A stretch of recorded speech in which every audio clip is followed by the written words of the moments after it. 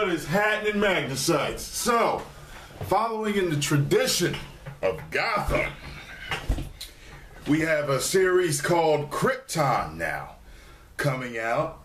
And let me read you this short article in Entertainment Weekly about what it says. It says the world of Superman is headed back to TV. A Superman prequel series called Krypton from the Man of Steel writer David S. Goyer has land, landed in development at Syfy. Here's the pitch. Years before the Superman legend we know, the House of El was shamed and ostracized. This series follows the Man of Steel's grandfather as he brings hope and equality to Krypton, turning a planet in disarray into one worthy of giving birth to the greatest superhero ever known. Goyer was previously rumored to be working on such a project, but without a network or any details publicly attached to Goyer uh, and Ian Goldberg, will executive produce the project, with Goldberg writing a pilot script based on a story by both men. In addition to Man of Steel, Goyer cre- uh, credits include, okay, uh, let's see, uh, the project comes on the heels of Fox, Fox's Batman prequel series Gotham, breaking out as one of fall's top rated TV shows. You guys can go read the rest if you want. I will post the link in the description box, but as we know, I am here to give my opinion. Um, I watch Gotham.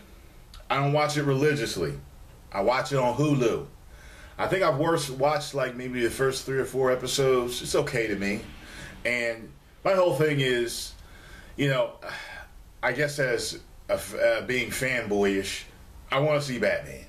Yeah, it's called Gotham, but I want to see Batman. I realize that being called Gotham, and it's about Jim Gordon, and it looks like the, his evolution as a police officer and the commissioner, and the development of um, the villains uh, into who they are, and probably eventually we may see Batman. He's a boy now, so you know, but we'll see things that create him.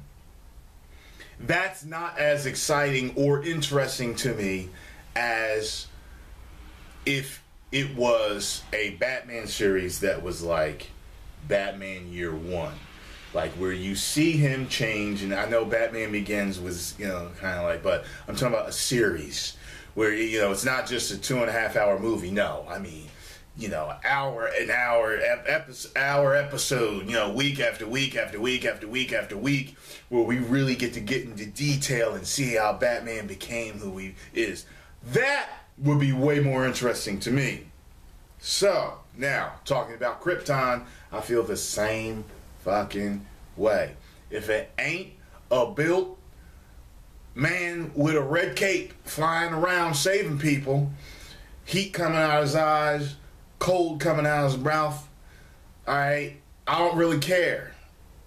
You know what I'm saying? But there are people I understand out there that are interested in the backstory of Krypton and the people and all that shit. It means not much to me at all. I went to see Man of Steel so that I could see red cape flapping and people being saved. And strength and feats of strength. That's what I came to see.